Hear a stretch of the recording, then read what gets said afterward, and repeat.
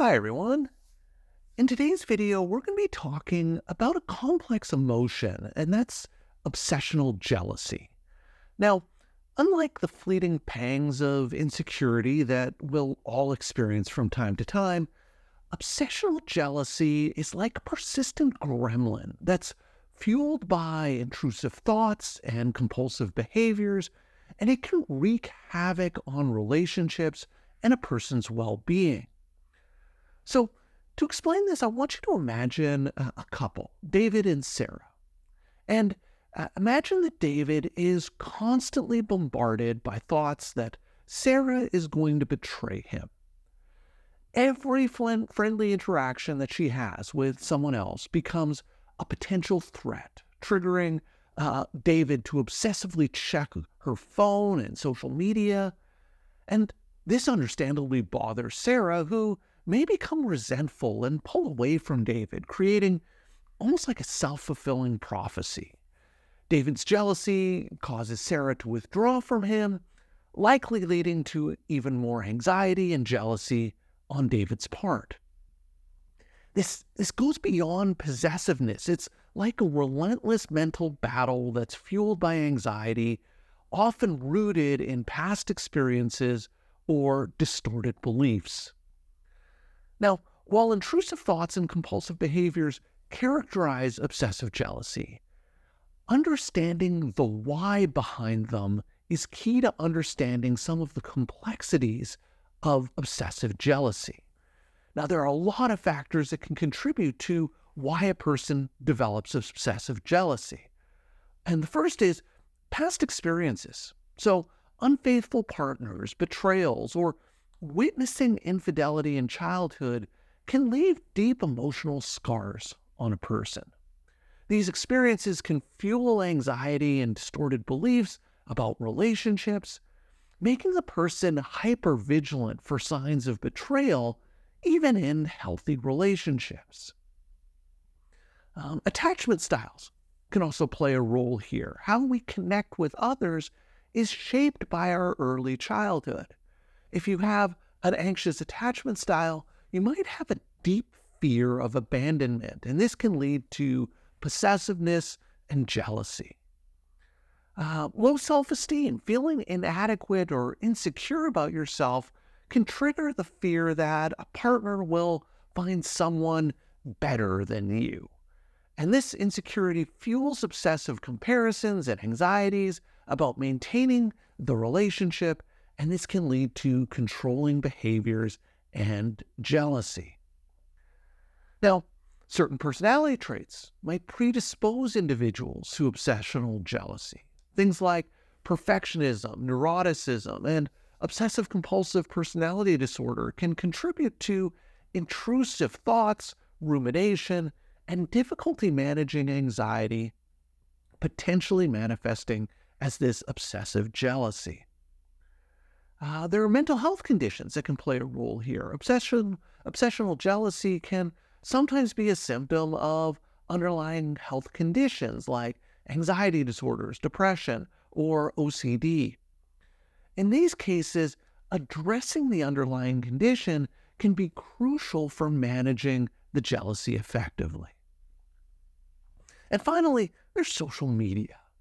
And I want you to imagine this. You scroll through perfect, perfectly curated Instagram feeds, seeing couples posting pictures in exotic locations, friends celebrating uh, relationship milestones, and everyone seemingly living their best lives.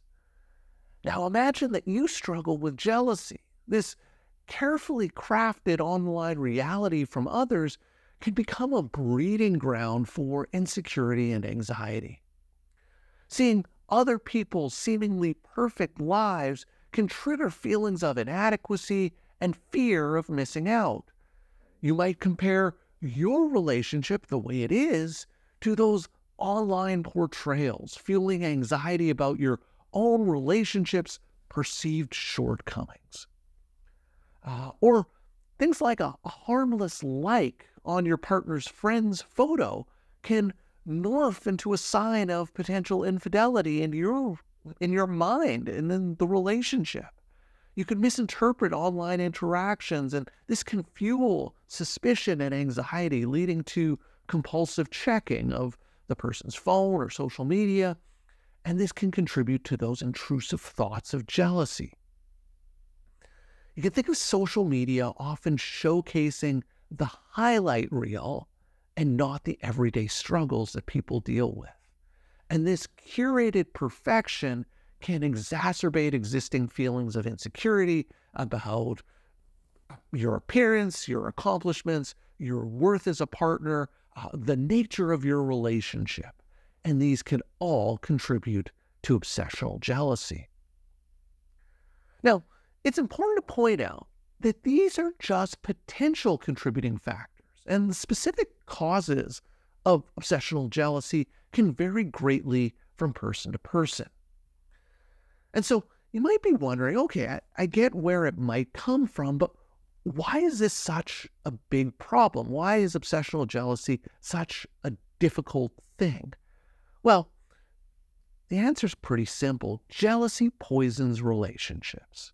Constant accusations, possessiveness, and controlling behaviors create a toxic environment in the relationship.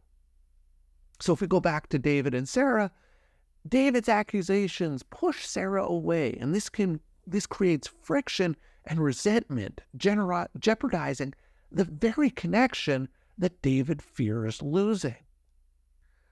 But the impact goes beyond relationships. Imagine David constantly consumed by intrusive thoughts uh, about jealousy, and this may result in work performance suffering and his own social life shrinking. The emotional turmoil spills over into every aspect of life, and this can create a significant burden on well being. So, obsessional jealousy can be a big problem. And the question then becomes well, how do we untangle this? How do you manage obsessive jealousy? What can a person do about it? Well, the first step is awareness. Um, are intrusive thoughts, excessive checking, and emotional turmoil about your partner's loyalty, are these things dominating your life? And if so, that's probably a good indication of obsessional jealousy.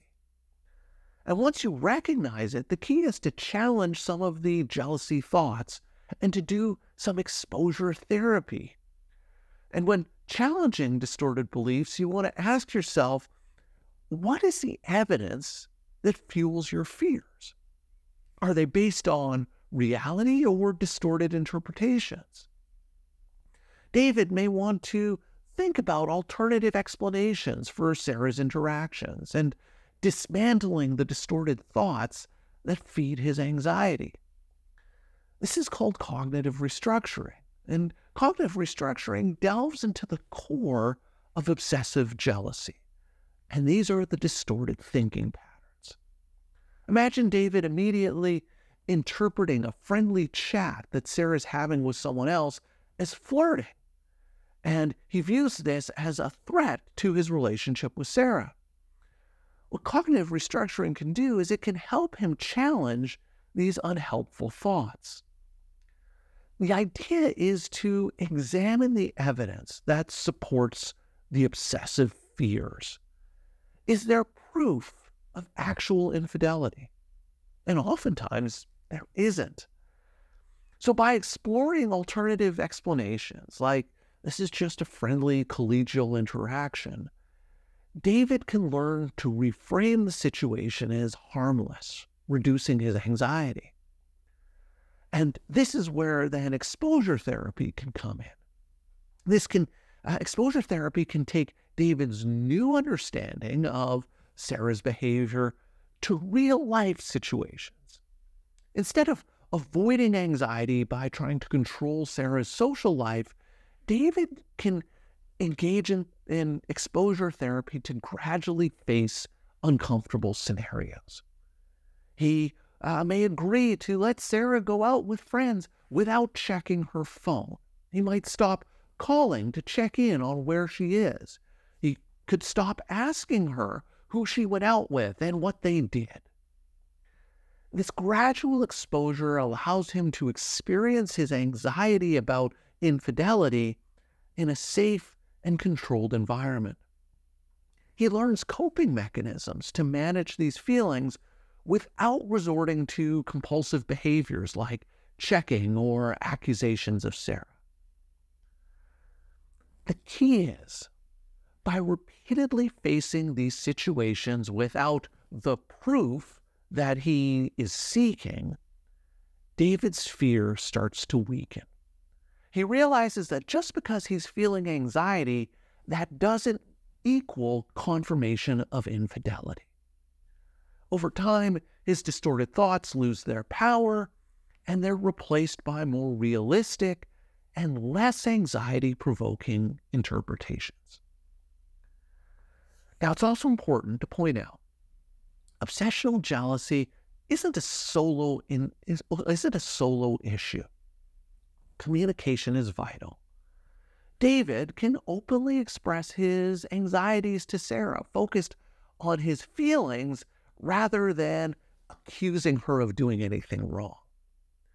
And Sarah, in turn, can help David by understanding and communicating effectively, establishing trust and healthy boundaries in the relationship. You see, living with obsessional jealousy is challenging, but it's not an insurmountable thing. By understanding its roots and implementing techniques like cognitive restructuring and exposure, you can break free from its grip and reclaim your emotional well being and a satisfying relationship. If you're interested in learning more ways of identifying and challenging negative thinking patterns that can fuel things like anxiety and depression, I'd encourage you to check out this video. So that's all for today's video. As always, thank you for making it all the way to the end of this video, and I will see you in the next one.